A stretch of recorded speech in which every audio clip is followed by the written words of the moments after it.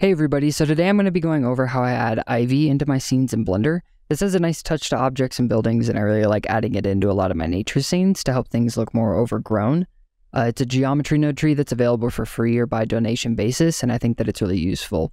So the first thing that you're going to need to do is you're going to need to go to this Gumroad page. This is where you can download all the files that you'll need to be able to use this geometry nodes tree in your own project. So once you go ahead and you download all the files, what you're going to do is you're going to open up Blender and whatever project that you're working on and you're going to go up to File and you're going to go to Append.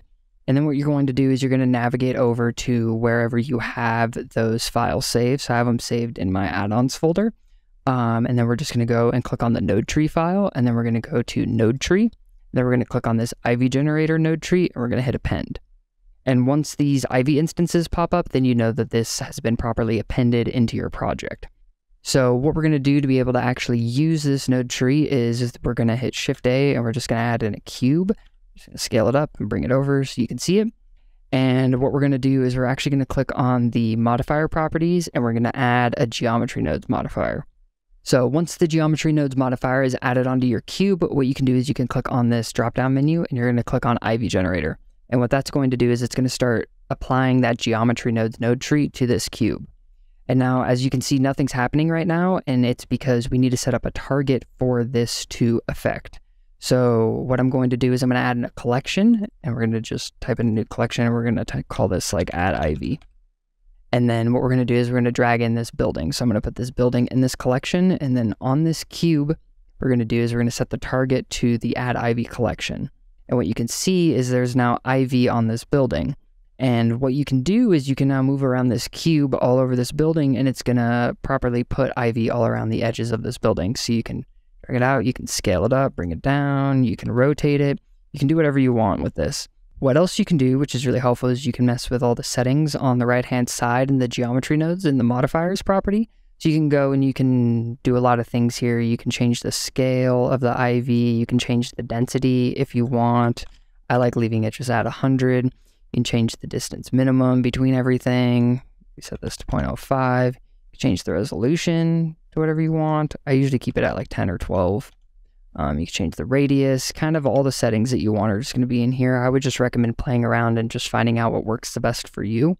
Uh, I usually don't change too many of these besides maybe the scale or the density or the distance minimum in between the objects because I find that pretty much the defaults work really well for most instances of this. You can just go ahead and you can move around this cube wherever you want. You're going to have Ivy over everything. And then what you can also do is you can add more objects into this collection and Ivy will start to spawn on them as well. So if we go ahead and we drag this arch in and we drag this cube in between the two objects, you can see that the Ivy is starting to grow in between the two things. And I feel like this adds a really nice touch of having the Ivy grow on multiple objects and it really helps blend everything together. So if we bring this building a little closer, and if we bring this cube over, you can see is like the arch is now very overgrown with ivy and it's also growing onto this building. We could drag this up a little bit if we don't like how it's going on the bottom.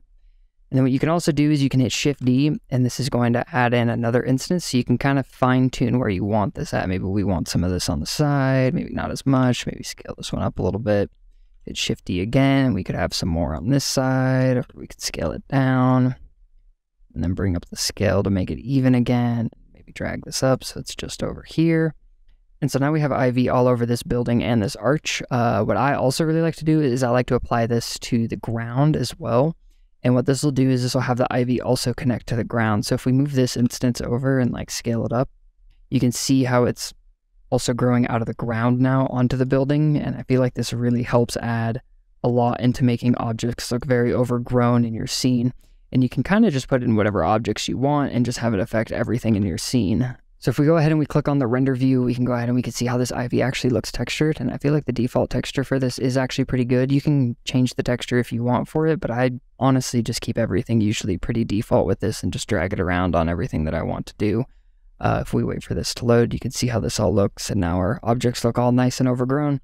So this is something that I found, and I feel like it's really, really useful. I hope that you've learned something from this. I would recommend applying this to your own scenes if you're trying to make them look overgrown and kind of old or just wherever. It looks really good on any objects, and it's really nice that it's uh, procedurally generated with geometry nodes, so it can just really apply to whatever you want. It looks really good on walls or balconies or just anything for your project. Um, my only recommendation that I would have is just make sure that you, when you end up having a lot of instances of this, I like to put them all in their own collection so then I can toggle them on and off if I'm still working on the project because it really starts to bog down the project once you have a lot of instances of this and it can get pretty heavy on your computer.